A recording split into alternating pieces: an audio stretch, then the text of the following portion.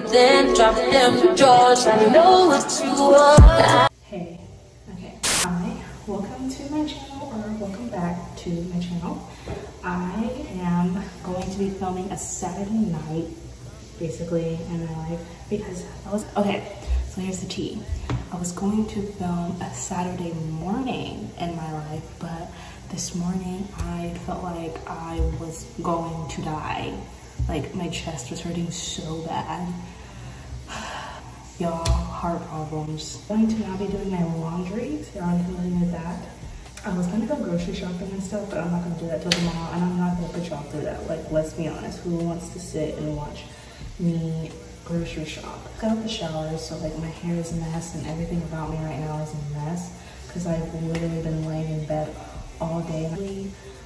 Every um, Saturday, I like go and I do stuff, but today I just, I'm, I'm in pain. This literally this whole week I've been in so much pain. But come with me on this random video, period.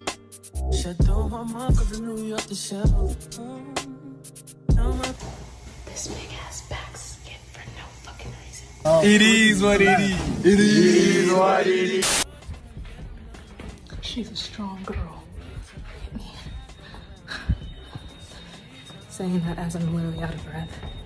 We wait for the elevator now. This is the best time to do laundry because it's either in the morning to do laundry or it's like at night when no one's in there, which is what I love because I like doing laundry by myself. Okay, so I literally just had to run to my fucking room because I forgot my, um, forgot my like detergent. It looks so dirty in here. This is why I go in the fucking morning.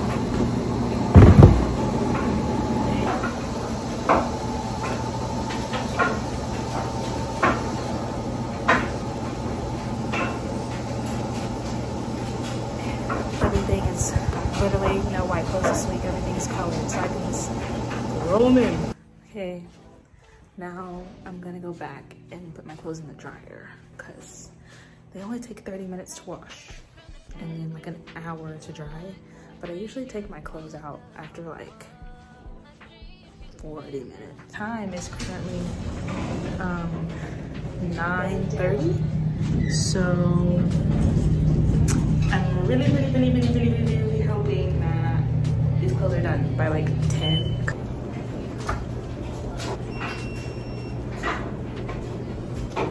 What is the point? Why are we not cleaning? Me personally, I wouldn't take this level of disrespect.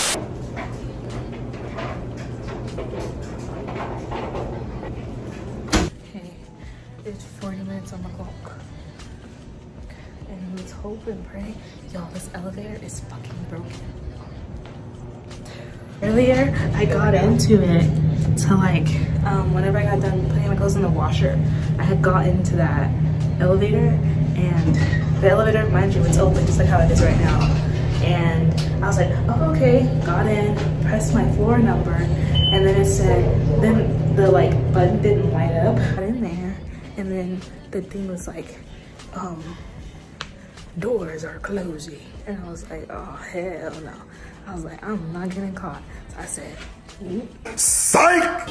out there, cause girl, who I look like getting caught in an elevator? Who do I look like getting caught in the elevator? Who I look like getting caught? Who look like?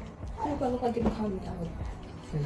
We do not care. Okay, so now we're about to take my clothes out the dryer and fold them. Okay, so I don't do it like how most people do it. I don't like take it out and put it on the table right here next to me.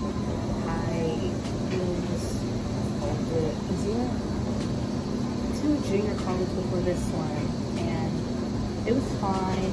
But I think that this college that I'm so far away from home that it makes me a little. So. I tried to film in there, but like a whole bunch of people came in. But literally, college is so hard for me this year. And I think it's hard for me this year because I just got diagnosed with a heart condition last year. So whenever I am in heart pain, it's a lot. And I'm four hours away. So my mom's not up the street to come and get me, you know? It's hard because I'm just not around anymore. Like literally all my brothers are just living their lives. And then y'all, let me tell y'all tea. So theater classes, not that hard. They're not that hard. It's just I have no motivation to do anything. Like, and I think it's just because it's the second semester and people do say like second semester, it feels like it's the longest because there's less breaks and they're not fucking playing because I'm so ready to go home. Two more weeks till spring break. I wanna go home. Yeah. But yeah, laundry. Anyway, let me get back to my room so I can go eat because I haven't eaten anything today besides cereal at like 9 a.m. and it is 10 o'clock at night.